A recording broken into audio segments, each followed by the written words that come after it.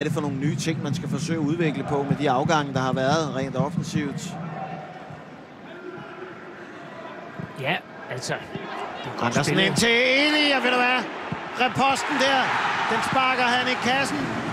Den 18-årige nordmand, det er en klasse aflevering for Peter Ankersen, men det er også en klasse aktion af den her rendyrkede center foran.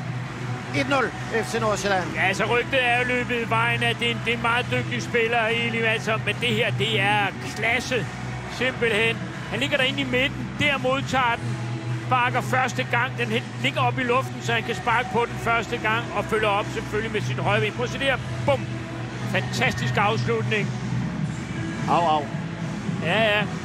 Men nogle gange, du ved, så er det sådan nogle detaljer her, der viser, at man har en, en spiller for fremtiden, ikke? Altså et kæmpe talent. Hold da op, det er hurtigt afviklet. Vincent endnu en gang. Ja, han skal den med ud af til, til venstrebenet. Dortgeles bliver fanget. Masser af Lyngby spiller Eman med højre benet 1-1. Den tidligere FC Nordsjælland spiller Jonathan Eman med en scoring, der kommer fra en vinkel, som han ikke rigtig kan se hele vejen. Andreas Hansen. Ja, glimrende mål, og vi kan se, at Eamon, han, han jubler ikke. Han, han gør det lige lidt diskret i hvert fald her mod sin gamle klub. Det er Douglas, der, der taber bolden på en, på en dum måde, synes jeg. Her ind til højre benet, hårdt aftræk der, kort aftræk, og et glimrende mål. Endnu et glimrende.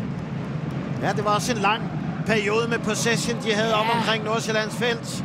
Yes. Godt, og godt, de får slået kapital af det. Hvad, Carsten, jeg synes også, at, at Nordsjælland, vi har talt om det her første halvleg, det her med, åh, jamen, så giver vi lige modstanderne lidt, lidt, nu får de lov at have bolden. Men det går også, men jeg synes jo nogle gange, så sådan man vise, det er fair play. Selvom det ikke står i bogen. Altså, jeg skal spille til dommeren fløjter.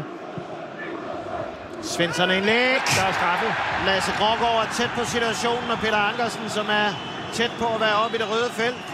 Morten Krog sidder med ansvaret for var i opgøret her.